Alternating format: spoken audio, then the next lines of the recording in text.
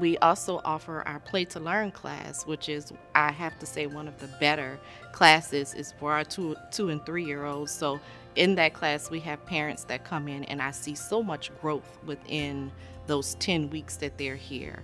Um, the children just become the first day they're very shy. By the end of the class, they've made friends, parents have made friends. It's just awesome.